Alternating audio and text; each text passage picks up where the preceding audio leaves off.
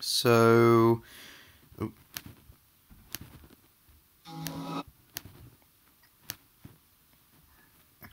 So basically, while I was making this video, the logo has just been revealed, the new logo.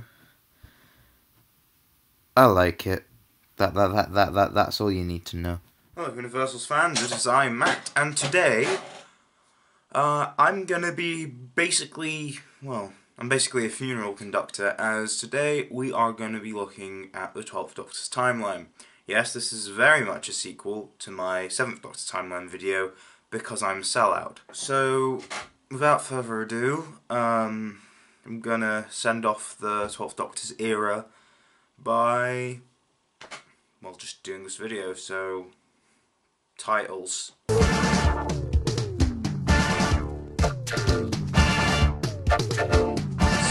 Course, I'm gonna start off with the boring stuff as usual. I did not use as many resources um, when making this video. I it was just really TARDIS wiki, really. um, and I also used this website called Bradley's Basement as also a sort of rough guide. I'll probably be using this website from now on, seeing as how it it does the job. It it, it is it is a much more up to date source than the Doctor Who reference guide, but doesn't mean I won't use the Doctor Who reference guide. Just not in this video because it's not up to date to even include the Twelfth Doctor it, it doesn't even go past Day of the Doctor. So, also, I will be having a new sort of guide to what I'll be talking about. So, I'm not going to talk about comics. I'm not saying they're not canon. I'm just going to say I'm not going to talk about them.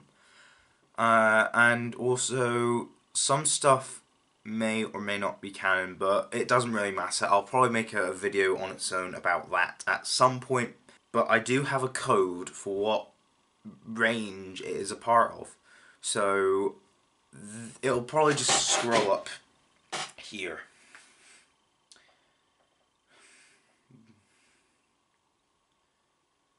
Yeah, I think that's given it enough time. So you're just here for the 12th Doctor stuff now, so I'm just gonna get right to it. Don't know why I did that. So of course we have to start off with Time of the Doctor because it would be stupid not to. It's, it's it's the first story chronologically for him. He, the eleventh Doctor regenerates into the twelfth Doctor. So yeah. So then the next story would obviously be Deep Breath, as that's what Time of the Doctor leads into. The Doctor suffering from post-regenerative trauma at this point, and he recognises his new face, but he doesn't know from where. So after an adventure in Victorian London with Clara and the gang, no, no, no, seriously, the Paternoster gang, he drops the woman off in modern-day Glasgow before he refurbishes the console. Day of the Doctor comes next, seeing as how the console, the actual time rotor, still has the green, the greenish turquoise lights from Series 7B. So, there we go teams up with all his previous incarnations. So then there's into Dalek where he picks up Clara again. Why did you have to do that, Doctor? Just, just why? That's the, it's not necessary. Now, this is when the Doctor wonders if he's a good man. This is important because it was in the trailers and it's basically the 12th Doctor's arc in Series 8. So after a few stories that we'll be scrolling down here, Hopefully, I'll try and get that to work. Um, we've got Listen.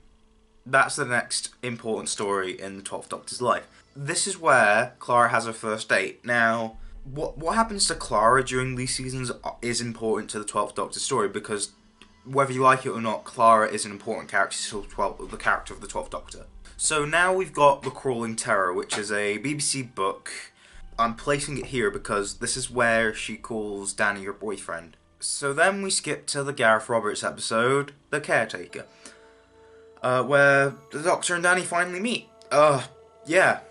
So next we get... Can I just not talk about this one? I Okay, I have to. I. It's not that I don't consider it a canon, I just think it's... On, probably the worst Doctor Who story of all time. Kill the Moon.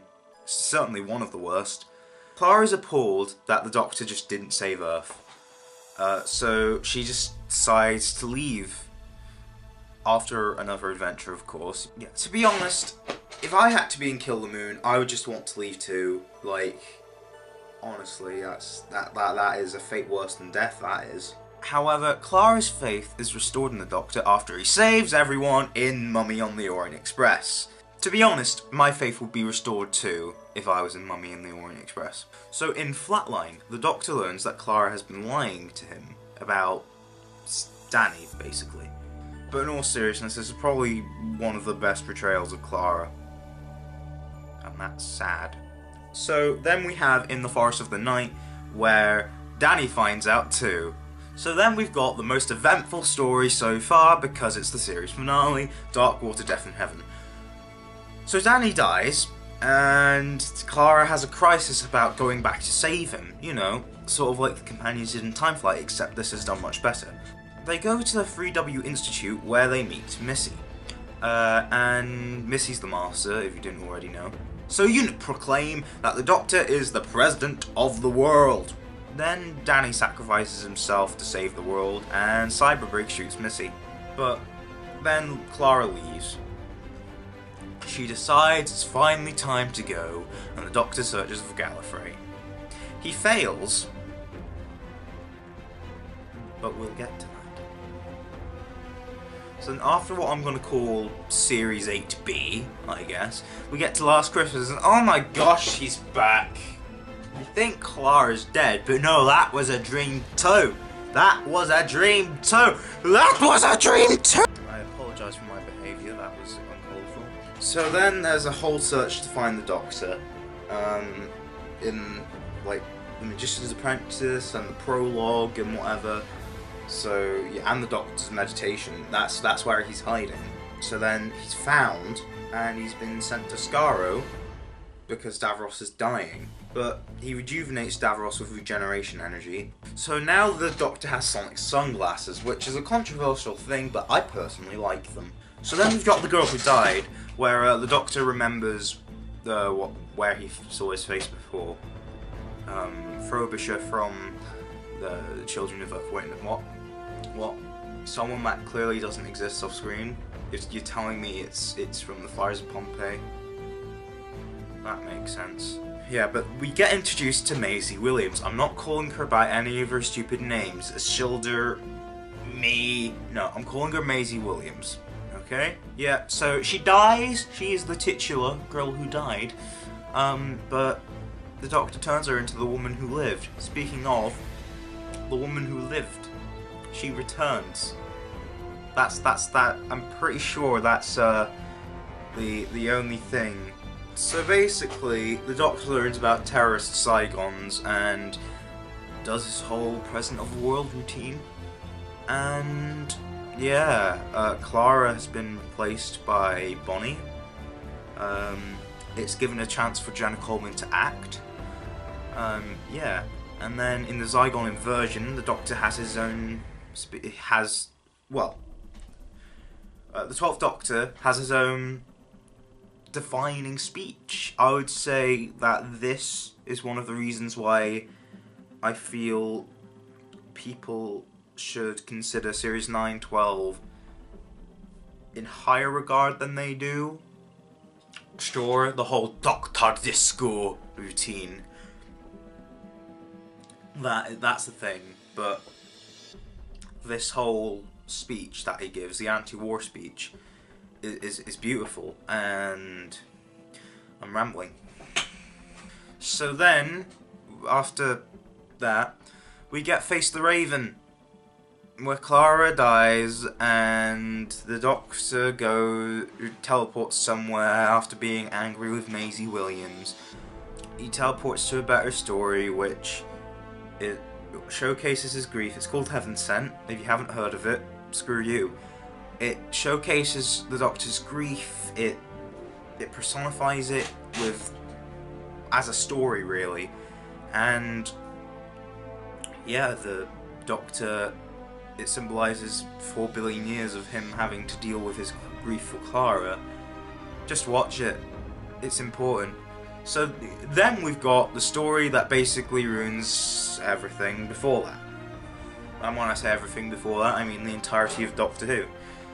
Because the Doctor brings back Clara on Gallifrey. Like, there's the whole Gallifrey stuff. That's that's dragged out. That's not even the focus of the episode. It's just dismissed. Like, a, like boring scenes are dragged out. Like scenes where nothing happens and where the Doctor's eating soup. So yeah, the Doctor eats soup. That's like the most important part. and and then he overthrows Rassilon. That that that's that's important, right? No, it's not. Um.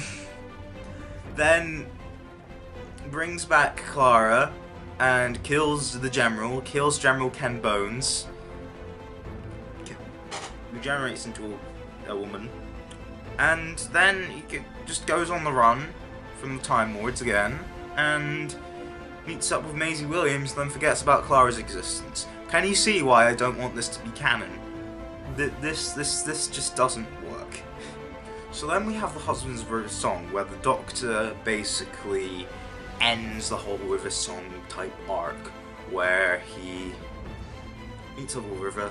She doesn't know about him being the Doctor, and then he basically sends her off to the first story we meet her in. Silence in the Library, Forest of the Dead, that story, yeah. You also meet Nardole. This will be important. So then we've got what I like to call Series 9B, uh, where these stories happen. But then, right before the events of uh, Series 10, uh, we've got the we've got Extremis, where the Doctor and Nardole formally meet as travelling companions. Uh, these are just the flashbacks to Extremis, where the Doctor fakes Missy's death. When I say fake Missy's death, he executes Missy, but she's still alive, so executes her. Basically, she's locked in the vault. Then the return of Doctor Mysterio happens. Uh, he creates a superhero accidentally. And then we get introduced to Bill in the pilot.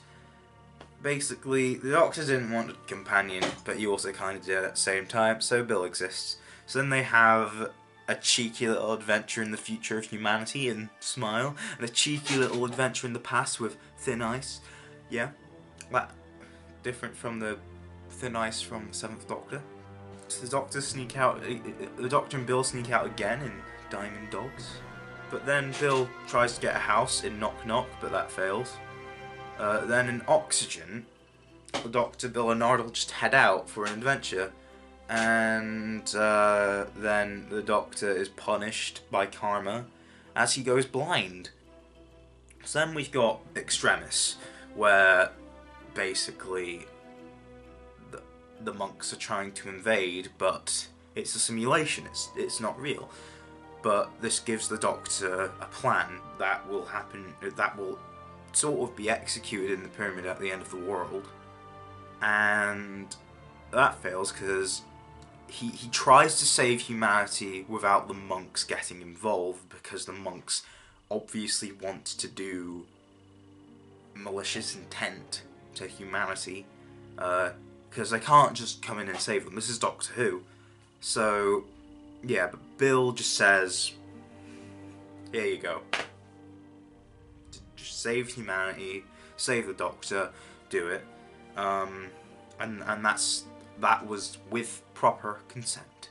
So that that happened, and then of the Land, the biggest disappointment in Series Ten, happened, and the, they they they stopped that. They stopped that whole thing.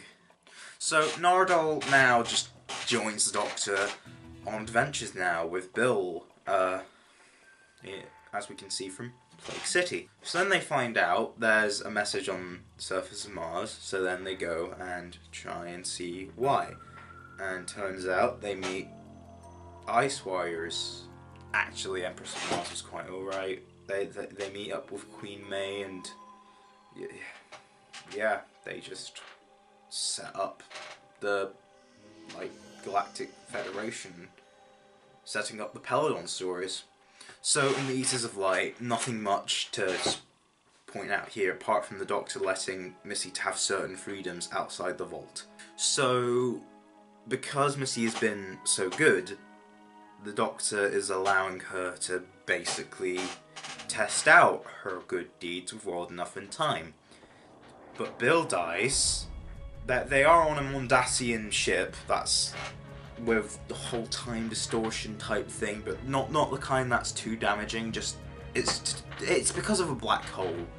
So then um, Bill gets converted into a Cyberman, and then we find out that the person Bill, well, the person that betrayed Bill was in fact.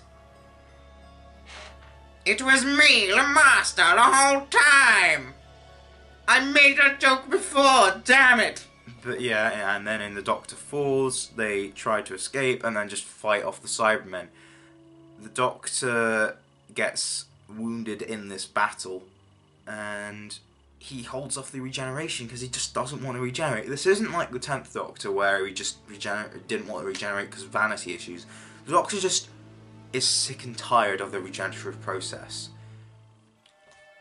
I'm just gonna say I'm alright with this because it's it's it's the first proper regeneration in a new cycle. He's he's it's it, he, it, it might be a bit faulty the regenerative process. So so then he just goes after Bill and her girlfriend Heather go and be be like a, a lesbian puddle across the universe. But then the do- the Doctor seems to have the sort of fever dream where he meets a sexist version of his first incarnation, a, a, a random general who seems to be related to Brigadier Lethbridge Stewart, and just goes on an adventure with no plot. I mean, one that I would give 4 out of 10 now thinking about it because a 6 out of 10 is too much. And yeah, we're up to speed. That's that's the 12th Doctor's timeline. If you enjoyed this video, give it a thumbs up. If you didn't, I'm sorry. Anyway, see ya.